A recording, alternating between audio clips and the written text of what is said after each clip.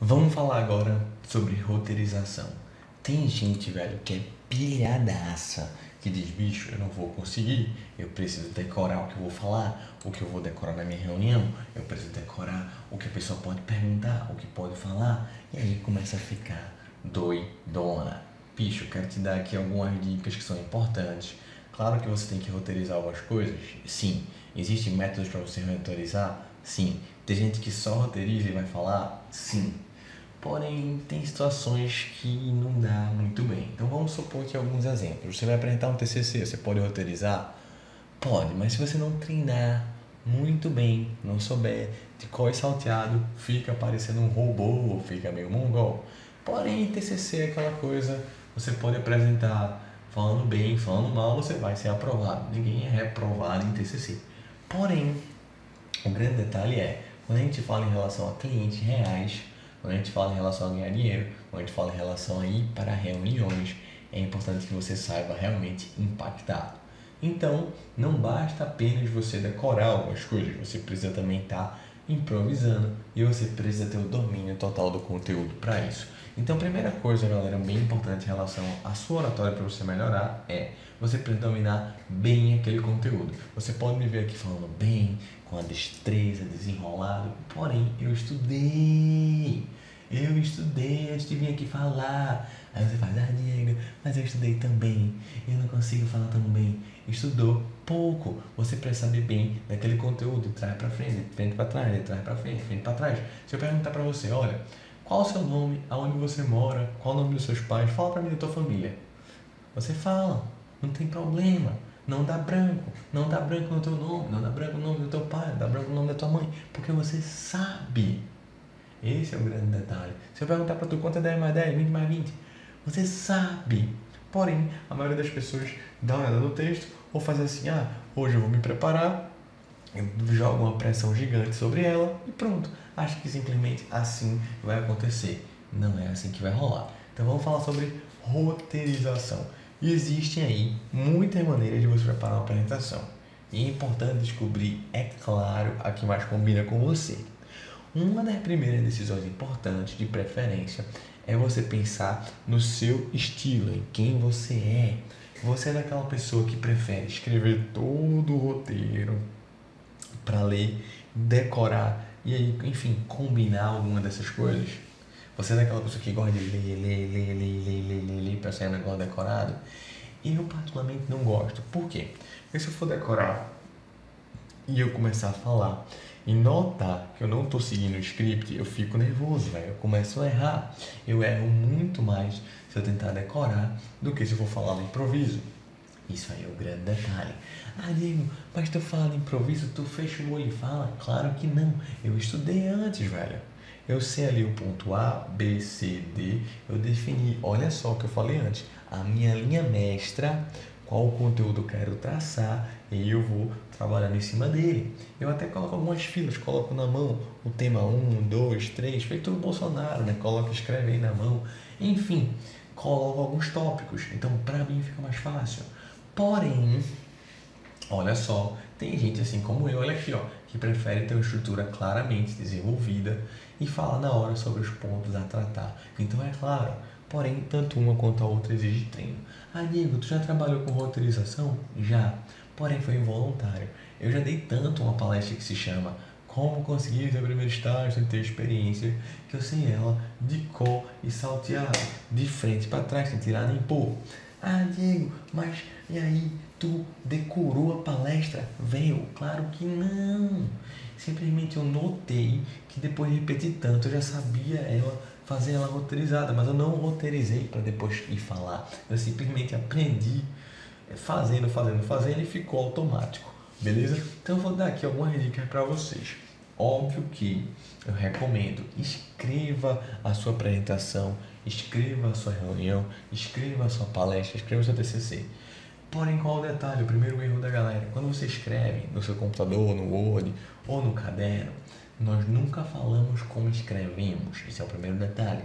Você escreve de uma forma mais formal, você escreve de uma forma, enfim, mais coloquial. E quando você vai falar, você fala de uma forma diferente.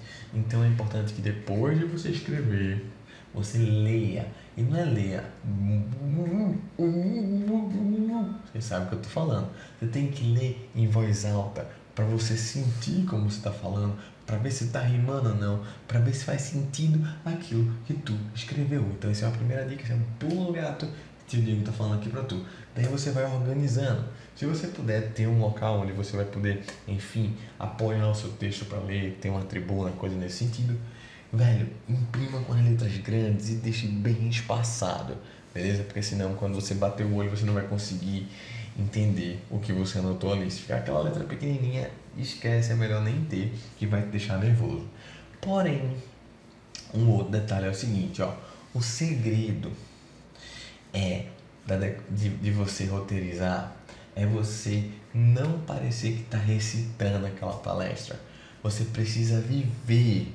Então, se você, por mais que você decore, você precisa decorar ao ponto que você não vai estar tá notando, as pessoas não vão notar que aquilo é decorado. As pessoas conseguem sentir a emoção. Seu único objetivo é chegar ao ponto em que lembrar as palavras deixa de ser um esforço e você pode usar o tempo da apresentação para passar a paixão e a expressividade para os seus ouvintes. Você deve dar a impressão de que está expondo as ideias pela primeira vez. Então, velho, você precisa de verdade treinar, fazer, repetir diversas e diversas vezes. Se você quiser decorar, vai ser muito mais trabalho, vai ser muito mais difícil. E se você não tem tempo, eu não recomendo. Sério, vai dar merda.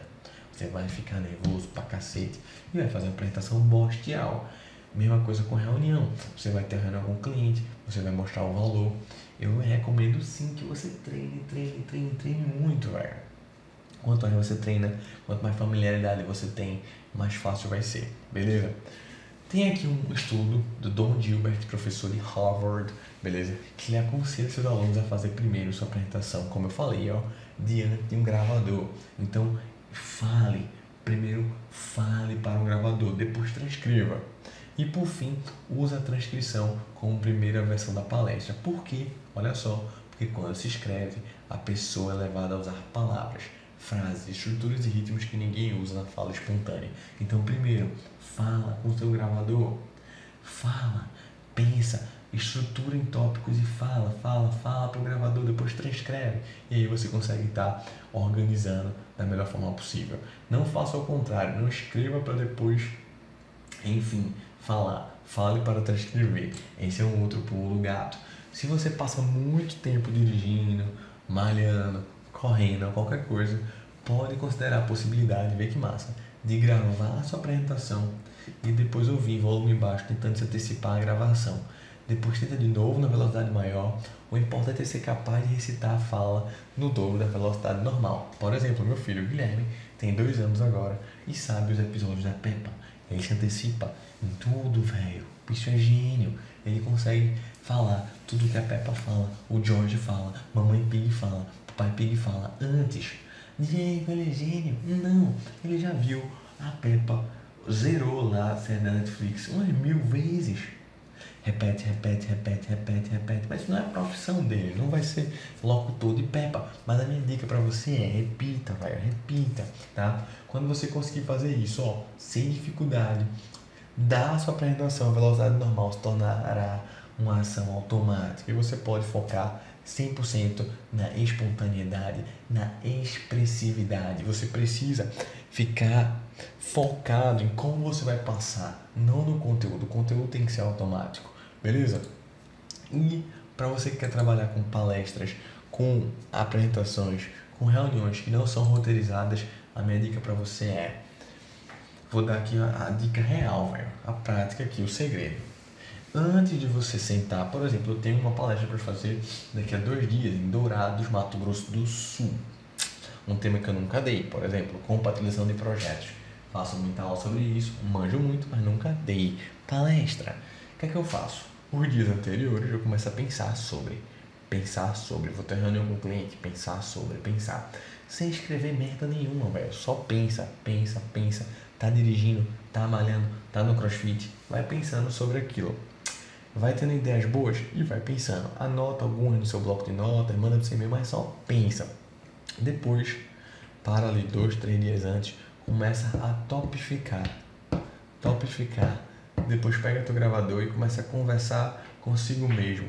Começa a levantar aquela bola, começa a conversar. Depois você vai transcrever e pronto. Você vai ter ali o material que você precisa, obviamente, decorar, treinar e treinar não só a forma como você. o texto. Esse é o grande erro da galera. O pessoal é quer só decorar o texto esquece de treinar a expressividade daquelas palavras.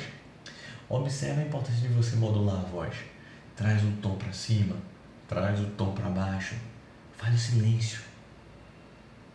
Deixa teu público pensar, deixa ele refletir sobre o que você está trazendo. Então é muito importante você treinar. E é muito importante você treinar não apenas o texto, velho, mas como você vai empregar a emoção, o sentimento em cada uma daquelas palavras. Para a gente poder finalizar esse nosso curso básico de oratória, tá? Esse é o curso básico do nosso curso avançado. A gente vai estudar muito mais sobre isso, vai falar sobre vestimenta, vai falar sobre técnicas de retorização, vai falar sobre técnicas de memorização, de leitura dinâmica, enfim. Eu quero trazer algumas situações reais em relação a você que vai apresentar seus projetos, que vai se reunir com suas equipes e também vai trabalhar aí em equipe.